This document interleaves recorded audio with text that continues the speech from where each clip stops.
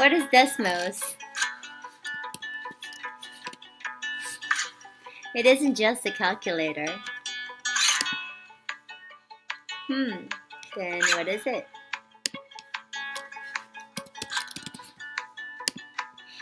It isn't just a self-paced learning platform either. Come on, hurry up, computer.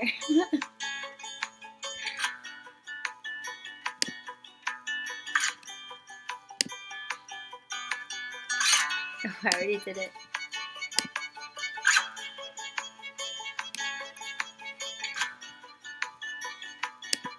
It's a tool that helps students learn the beauty of mathematics and make sense of it. Oh, let's see all these things you can make customs. Ooh, you can teach transformations, all these activities.